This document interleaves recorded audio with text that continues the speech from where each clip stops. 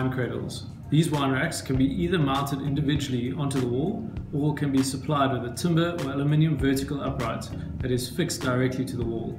Visually, the bottles will appear to be floating and all the labels will be visible. The wine ladder.